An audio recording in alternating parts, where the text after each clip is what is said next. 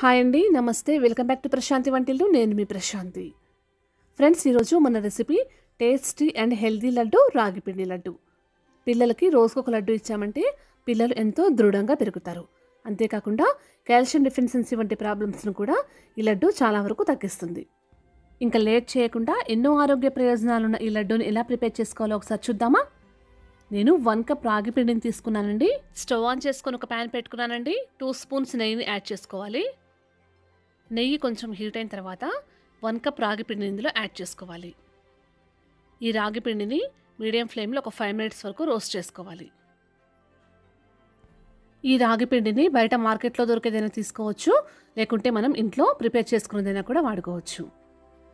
ఈ పిండి కొంచెం కలర్ మారి మంచి వాసన వచ్చేంత వరకు మనం దీనిని రోస్ట్ చేసుకోవాలి. ఇలా వేగితే సరిపోతుందండి. ఇప్పుడు దీనిని ఒక మిక్సింగ్ బౌల్లోనికి తీసుకోవాలి.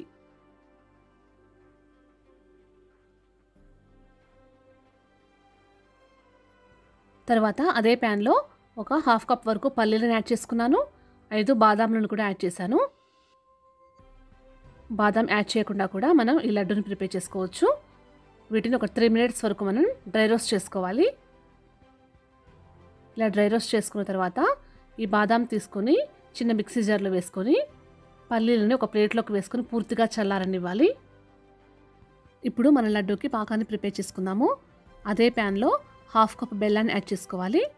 పావు కప్ వాటర్ని యాడ్ చేసుకొని బెల్లం మొత్తం కరగనివ్వాలి. తీపి ఎక్కువగా కావాలనుకున్న వాళ్ళు ముప్పావు కప్పు వరకు కూడా బెల్లాన్ని యాడ్ చేసుకోవచ్చు. ఈ బెల్లం కరిగే లోపల మనం మిగతా ప్రాసెస్ చూద్దాము. పల్లీలు పూర్తిగా చల్లారిపోయాయి కదండి. పల్లీలని ఇలా పొట్టు తీసుకొని బాదాం యాడ్ చేసుకొని మిక్సీ జార్లో వేసుకొని ఇలా బరక బరకగా పౌడర్ లాగా ప్రిపేర్ చేసుకోవాలి. దీనిని రాగి పిండి మిశ్రమంలో యాడ్ చేసుకొని హాఫ్ స్పూన్ యాలకుల పొడిని కూడా వేసుకొని అంతా కలిసేలాగా ఒకసారి మిక్స్ చేసుకోవాలి. ఇప్పుడు బెల్లం పాకం వచ్చిందో లేదో చూద్దామండి. బెల్లం పూర్తిగా కరిగిపోయింది కదా.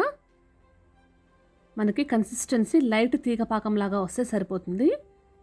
ఈ కన్సిస్టెన్సీ అయితే సరిపోతుంది. ఇప్పుడు దీనిని ఒక స్ట్రైనర్తో మనం ఈ రాగి పిండిలో వేసుకోవాలి.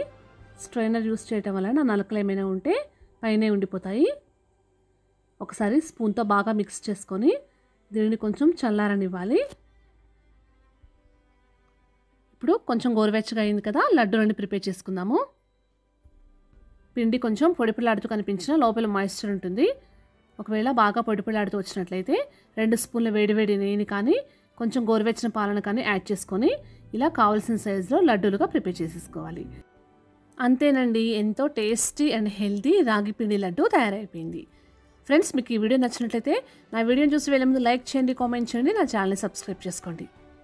Thanks for watching.